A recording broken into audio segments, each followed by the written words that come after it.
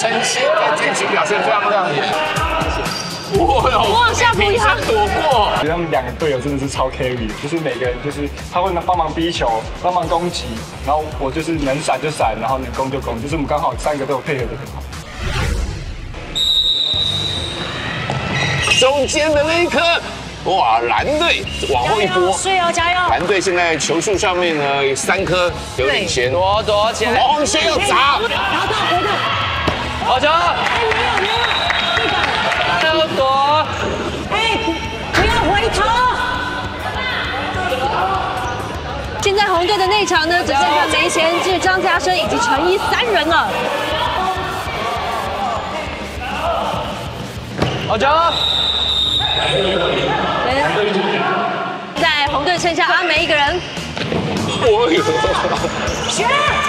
梅贤志打中了，关键的一击打中了吴许阳，直挺挺的往前线走过去，接起来，哇！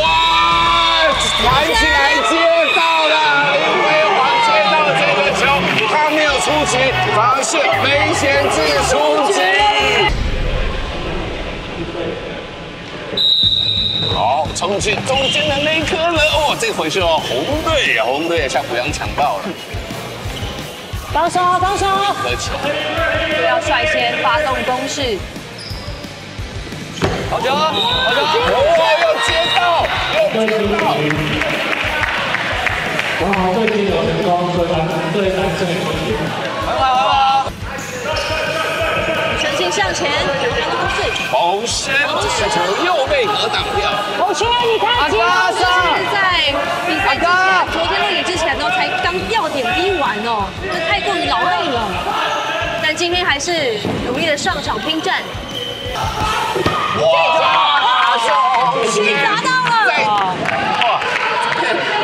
袁晨曦在这局表现非常亮眼，没错没他连续攻击了好多波，终于把黄福全给打出场，杀红了眼。真的杀红了眼。袁晨曦龙龙要不管是防守哦，他格挡了好多颗球，先打第三攻击都有所建树。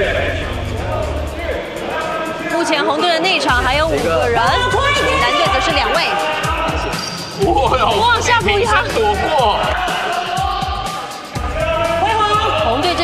这边呢，庾澄庆作为主攻手，上前诱敌。没死了。夏普阳接到球，林家有出局，剩下红队在第二局是快刀斩乱麻，把蓝队偷偷进攻出场。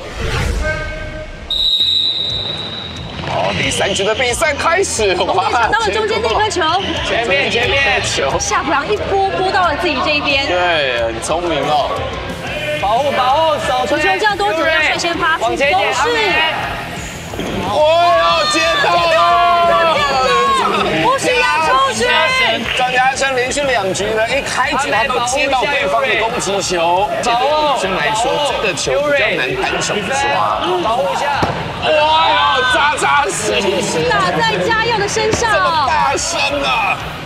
哇，听到就觉得很痛。是，我们知道林嘉佑这个游泳厉害啊！哎呀，陈宇也命中。张家生这样，红队真的是维持第二局的凌厉攻势啊！保护，有点建功。好球！哦，哦这样是，互相打到，对，一各有一人出局。张家生这次没有接到啊，出局了一换一。庾澄庆现在就是指定要打他了。我有接到，出局，一起一起，我有格格挡，挡掉哇，江宇阳，江火耀，接到球。哇，被打掉了，球被打掉了。红队这一局的气势非常强，战术也很成功。加加油！这次的抢球还是夏普阳手长脚长啊！而且那个有技巧哎，对人家去抓的时候，你要从下面要接球，保护他！右球，人家上前攻击，好球！哇，小吴许荣的膝盖，球太急了，慢下来。用球打于晨星，手拿起因为他是来。打篮球出身的，觉得这颗球跟篮球比起来还蛮小的。哎，一球在手，希望无穷。好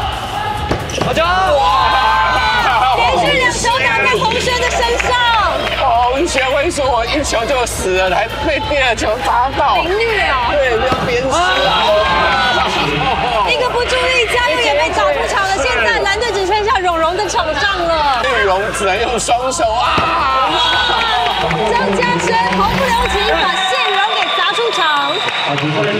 现在第四局的比赛是由红队拿了下来，五战三胜制的比赛，红队是以三比一拿下了复式躲避球项目的胜利。刚刚真的非常的精彩，让我都觉得我在场上的感觉。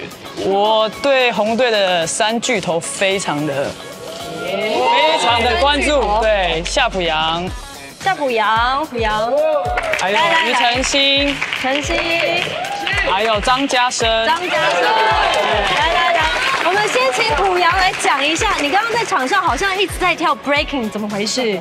嗯，就是尽量的去动，让他们不好打。因为其实说实在的，我如果我直接蹲下去了，就是被目标就是很集中。但是如果我一直让他去晃晃他，掌握不住这样子，然后能能压迫他们的时候压迫他们，让他们不能出手。但其实这一场我觉得他们两个队友真的是超 carry 的，就是每个人就是他会帮忙逼球，帮忙攻击，然后我就是能闪就闪，然后能攻就攻，就是我们刚好三个都有配合的很好。对，也想问一下陈星，你这场比赛是不是有特别针对到那个黄宏轩呢？因为我发现你一直在攻他呢。没有，因为因为他是反攻最强的人，那我一定要给他压力，不然他一定会把我们的人打死。而且他打的人也很准，很准。哦那加深了，因为你有好几局一开始你都是先接到球，因为躲避球我们知道有两个，你是要接还是要躲？躲你当你一开始就打定主意，你就是要以接为前提吗？呃，我其实也是一个反应接球，对，运动员的本能了。对对对对，就是球来，哎，就就刚好接到，不对，就是幸幸运。好，复式躲避球获胜的是红队。